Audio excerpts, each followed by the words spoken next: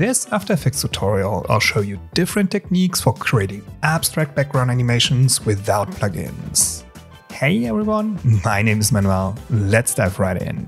First of all, let's animate abstract lines without any plugins. We use the pen tool and draw a line that reaches beyond the edges of the comp window.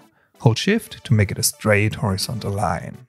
No fill, let's set the stroke Let's set the stroke width to 2 pixels. We use a linear gradient as stroke. Choose two colors, like yellow and orange. Then set the start and end of the gradient. We need to press V to return to the selection tool and to see the two points for the start and end of the gradient. A horizontal gradient direction. Then let's add wiggle paths from this drop-down menu here. We open the settings Let's set the size to 750, detail to 2, points to smooth, wiggles per second to 0,5, correlation 50%. Next, let's animate the line with expressions. Before, we add a null object, name it controls, and add to expression controls, slider controls. With these two slider controls, we control the speed and the movement of the animation. Let's set the speed to 0,1 and the movement to 100 for now. We lock this view up here so that it is visible at all times. Then we start with the temporal phase. We add an expression to the property and use the wiggle expression. Wiggle, and in parentheses, we link to the speed slider control. Set a comma, then we link to the movement slider control. That's it. 0,1 times per second, the value animates max 100 degrees in both directions from the start value. We copy the expression, then add an expression to the spatial phase property. Paste it, add to the rotation property of the layer. Press R, add an expression. We paste it again. One more thing. We add an expression to the random seed property and refer the value to the index number of the layer. Index. Number 2, the layer has the index number 2 to make sure each layer has a different animation pattern. You can see the random number change. Finally, to repeat the line, we add echo to the shape layer. Echo time minus 0, 0,0333, number of echoes 50, decay 0,95, echo operator add. To make it a loop, you need to loop the wiggle expression. And there's a way to do that. Check out how in my free expression sheet. You'll be surprised how expressions can change and speed up your workflow create easy to use templates, create animations that aren't possible with keyframes, like a particles rig, for example.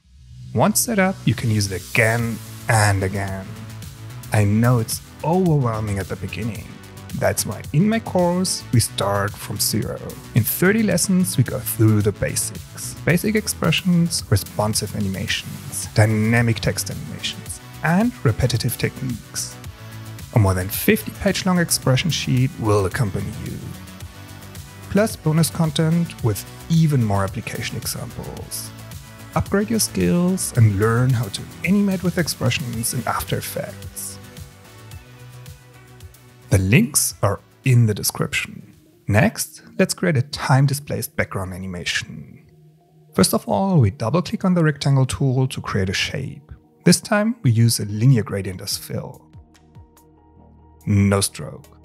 Then let's choose two colors, like a dark purple and cyan for example. We need some contrast. Then let's quickly adjust the start and end. And name it of course, background. Awesome. Next we need a time displacement map. We add a new solid, Command or Control Y, and name it displacement map. Color doesn't matter because we add a gradient ramp. Quickly search it in the Effects and Presets window, add it. We use a radial ramp and move the black start of ramp to the center of the comp. 540 pixels. Then we add posterize. Level 7 is fine, and this creates circular shapes. Let's move the end of ramp outwards to scale them up. We select the background shape again and add time displacement. Let's hide the map, choose the time displacement map in the effect.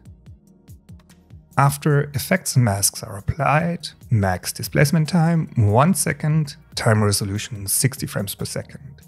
If it takes too long to render, you can lower this value. Nothing happens yet because we need to animate the shape layer. Quite simple, we rotate it. 0 degrees at the beginning, 360 degrees or 1 revolution at 5 seconds. Then we add the loop out expression and add, in quotes, ping pong inside the parentheses. The animation plays back and forth. To fill the whole screen, let's scale the shape up. Around 220% should be enough.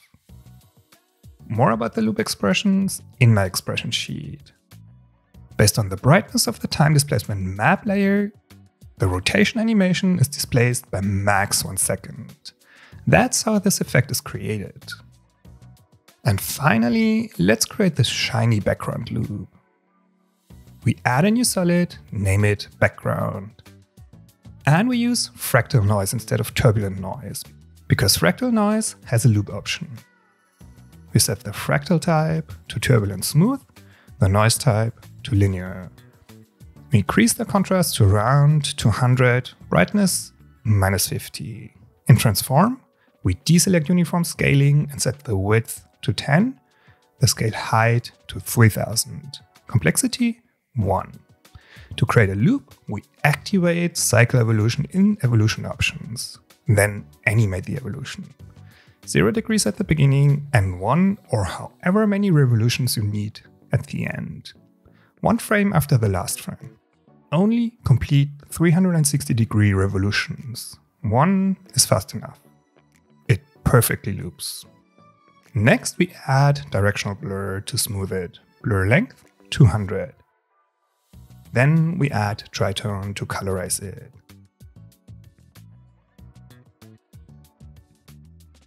Let's keep the highlights white and the shadows black. The midtones, let's use a dark yellow. We duplicate the solid to add a second layer. We set the blending mode of the top layer to screen so that the bottom layer shines through. Then we adjust the fractal noise settings of the bottom layer. Let's increase the contrast to around 350 and set the scale to 50 width and height. We need to change the midtones color. Let's choose a darker one, like a grayish purple. It looks like an animated curtain. After Effects offers lots of ways to create unique backgrounds. Make sure to check out the links in the description. On the left side, I've added a video you might like. Thanks for watching this one. See you on the next one. Bye everyone.